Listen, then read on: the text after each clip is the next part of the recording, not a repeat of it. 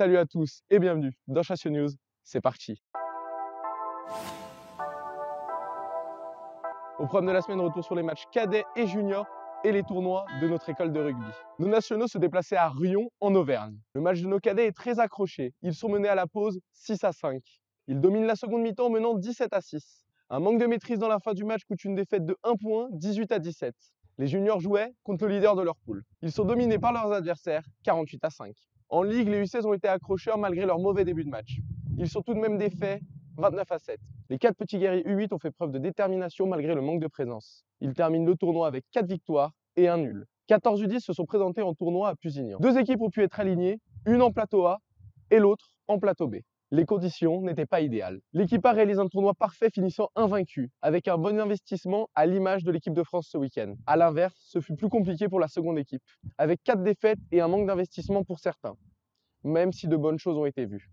Les U12 ont affronté de nouvelles équipes en niveau A. Le tournoi se solde par deux victoires et un nul. Les jeunes ont affiché un gros investissement et l'envie de gagner. Le groupe progresse, ce qui promet une belle fin de saison. Les moins de 14 étaient également au tournoi à Pusignan. Ils décrochent de beaux succès. Les Gones montrent de belles choses contre Belleville. Le match contre Pays Romanais aura été moins abouti. Ils ont été bousculés et moins combatifs. Cela s'est ressenti dans leur jeu. L'équipe touchée a joué 4 matchs contre mes yeux pour un bilan de 2 victoires et 2 défaites. C'était une bonne occasion de se confronter à d'autres styles dans la bonne ambiance.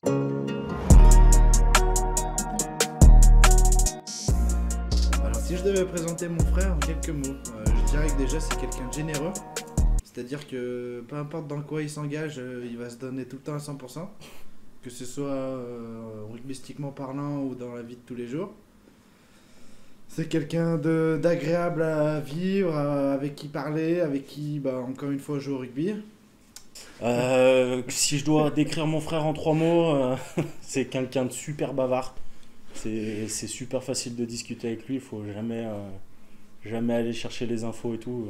Il, il parle beaucoup. Ce qui me plaît au club, c'est euh, tout d'abord le président, euh, l'ambiance qui- qu'il a réussi à mettre au sein du club, son investissement.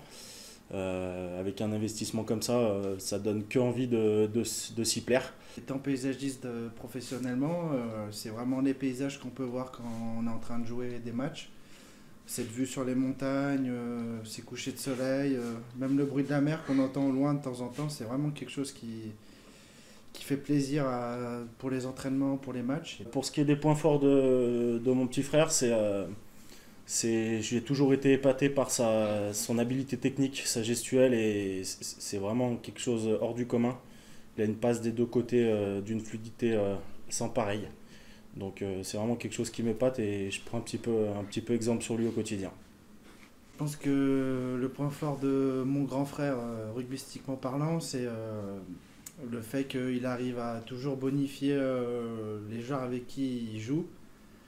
Il arrive à jouer pour lui et pour le collectif en même temps. Et ça, c'est quelque chose qui est quand même difficile à, réaliser.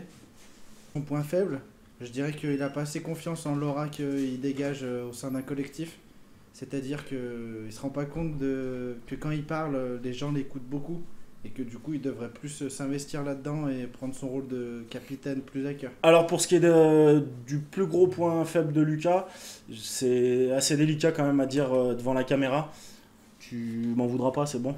Ouais, tu peux y aller. Euh, son Les plus gros point faible, courant, hein. alors ouais, son plus gros point faible, c'est vraiment euh, cette réticence à aller au contact. Il a, il a peur de tout ce qui est phase plaquage. Il a une appréhension à aller au contact avec le sol aussi. Donc, euh, donc je me demande s'il ne serait pas nécessaire que, que tu fasses quand même un petit séjour avec Alain Ponchon euh, en Avec U10. des 10, ouais, ouais. Ouais, pour qu'il J'y ai pensé. je cette appréhension demandé, mais- euh, au contact du sol, c'est quelque chose qui est assez important. Alors pourquoi venir dimanche pour assister au derby à Chassieux contre le Real 15 C'est qu'on va essayer de finir ce, ce championnat, on va finir ce championnat sur une note positive. On fait des bonnes prestations depuis janvier et on veut concrétiser cela sur, euh, sur le dernier match de championnat. La raison pour laquelle euh, je vous conseille de venir dimanche, c'est euh, comme je l'ai dit précédemment, bah, le paysage autour du stade, quoi. C'est vraiment quelque chose à voir au moins une fois dans sa vie. Et dimanche, en plus, ils annoncent un super soleil, alors ce sera vraiment les conditions idéales pour voir, pour voir ces montagnes. Qui va marquer dimanche Bah, C'est une question qui est plutôt facile à répondre. Je pense que me trouvant à droite du meilleur marqueur de l'équipe cette année, j'ai pas d'autre choix que de marquer à sa place dimanche, donc euh, je pense que ce sera moi. Et puis après, si jamais je lui laisse un petit peu euh, de quoi gratter un petit essai de plus, euh, je le ferai, mais ce sera surtout moi. Alors, qui va marquer, qui va marquer dimanche sur ce match? Je pense que c'est toute l'équipe de Chasseur Rugby qui va marquer les esprits. On est motivé pour faire une énorme prestation dimanche. Passons aux événements à venir. Nos seniors disputent leur dernière journée de championnat contre le Réel dans le derby de l'Est lyonnais. Dimanche 19 mars. La réserve jouera à 13h30 et sera suivie par la une à 15h. Le match sera précédé par un repas d'avant-match à la salle polyvalente de Chassieux. Vous pouvez encore réserver. Nous vous attendons nombreux pour soutenir les Bleus et Blancs. Les moins de 14 seront de nouveau en tournoi. À Vinay pour le niveau A et à Chassieux pour le niveau B. Les équipes Ligue U16 et 18 recevront l'entente Feurmont-Brison, tandis que les nationaux se déplaceront respectivement au 15 de la Dombe pour les cadets et à Commanderie pour les moins de 18. C'est déjà fini pour aujourd'hui, portez-vous bien et à la semaine prochaine.